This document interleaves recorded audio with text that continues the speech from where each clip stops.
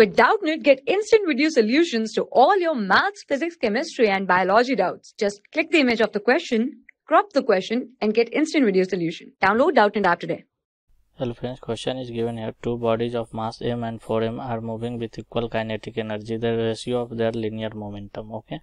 So we know the relation between momentum and kinetic energy P is equal to under root of 2 into mass into kinetic energy okay. So here uh, we have to find the ratio of linear momentum. So p1 ratio p2 will be how much? Kinetic energy is same. Okay.